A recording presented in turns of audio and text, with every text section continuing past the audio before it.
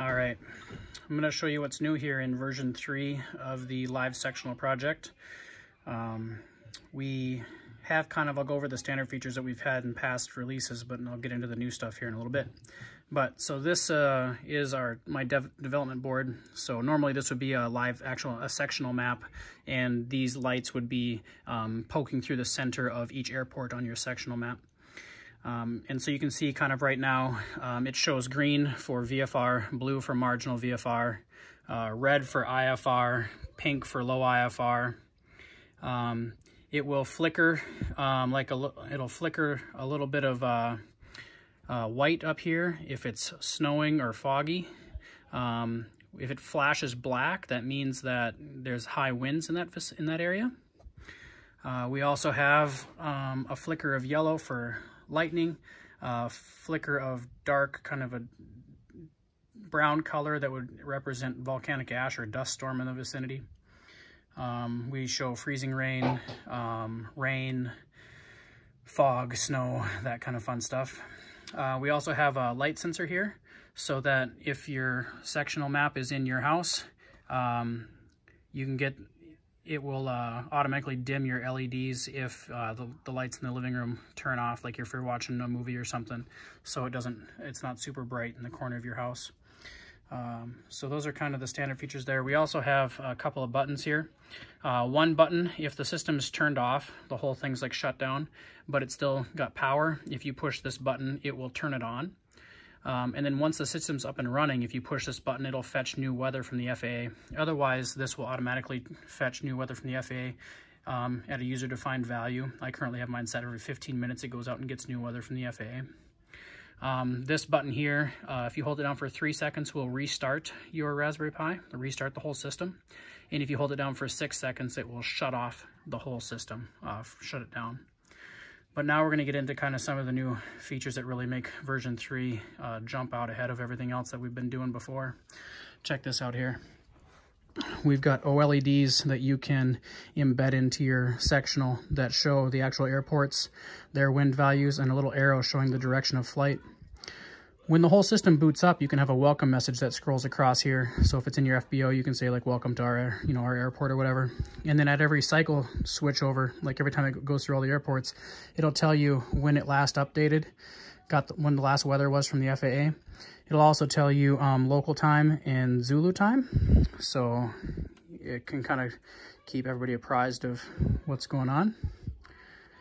And then the other huge thing that I think is really going to be a game changer for this system is we now have a graphical user interface for modifying your setup.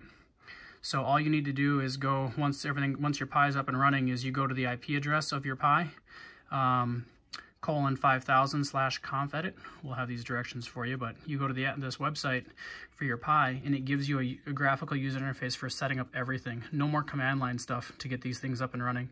So you can go under basic settings, tell if you want to boot automatically on, run the system automatically on boot, the total number of LEDs that you've got in your in your system, whether or not you're using a map legend, what your high wind speed value is that will make those things flash black, how often you want to get new weather from the FAA, um, what's an acceptable range of time for the age of a METAR if you want to include it.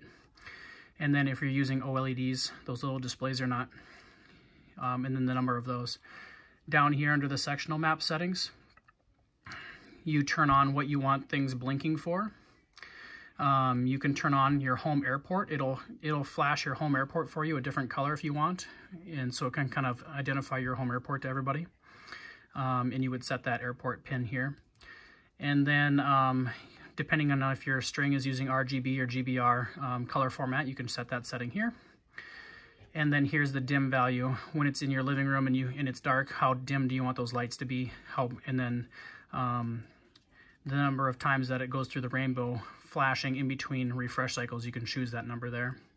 The LED color settings, check this out. We actually have a color picker, so you can choose whatever color you want for all of your different things um, and it'll pop that in there for you. Um, the LED or the legend settings down here, you can choose which legends you're using, what specific um, LEDs are um, being assigned as those legends. And then down here at the bottom, if you implement those um, OLED displays that I just showed you a little bit ago, here's the settings for that.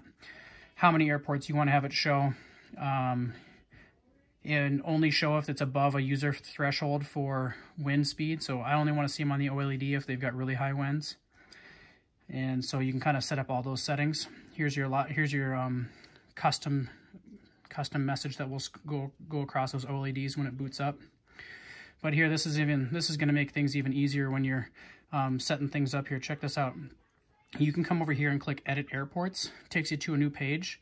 You put in the number of airports that you have in your project. You can actually have these embedded in your map at this point. Then all you need to do is you can come up here and say, oh, okay, flash the first flash the first LED or turn off the first LED. This way you can check which one you're actually working with in the map, and then you can come down here and actually put in the airport identifier for it. No more do you have to try to figure out from the back side of the map which light is in which airport spot. You can do this, you can set it all up, get it all glued in place, then come into this configuration and you can quickly check which airport is which, populate them in here, and it automatically creates a quick link here to take you out to look at the airport identifier um, on a FAA website. So you can go through and set up all your um, LEDs uh, for the correct airports. You see we've got legend in here for the ones that are the legends on my de development board. And then once you get that all done, you click Save Airports at the bottom. You can go back and edit your settings. Down here at the bottom, you also can um, shut off the lights, shut off the whole lights, um, reboot the whole Raspberry Pi, or if you've shut off the map for some reason, you can um, start it back up here. Um, this is when the Pi is running, it just turns the lights back on if you're if you're working on it. And then we also have a help button here that will take you over to a forum that's um, on a website that we've got set up for giving you guys some help. But I think this uh, version 3 is just a huge uh, advance in what we're trying to accomplish here. And we're trying to really make it user-friendly and easy thing to implement. Um, stay tuned. We should be releasing this in the next uh, couple weeks.